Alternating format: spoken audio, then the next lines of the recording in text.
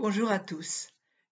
Nous voici avec une leçon assez facile aujourd'hui qu'on appelle en grammaire le passé récent. Qu'est-ce que ça veut dire? Eh bien, le passé récent indique une action qui vient juste de se passer ou de se réaliser. L'action se passe juste avant le moment où on parle il faut utiliser le verbe venir suivi de la préposition de et d'un verbe à l'infinitif. Je vous donne quelques exemples. Je viens de me réveiller. Je me suis réveillée il y a quelques minutes. Je viens de lire ton message. J'ai lu ton message il y a un instant. Tu viens de me téléphoner. Ah oui, il n'y a pas longtemps.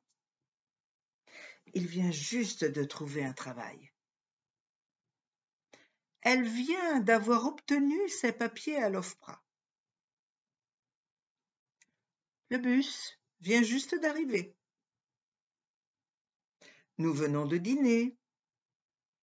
Ils viennent de sortir. Les enfants viennent de prendre leur petit déjeuner. Mes voisins viennent d'acheter une nouvelle voiture.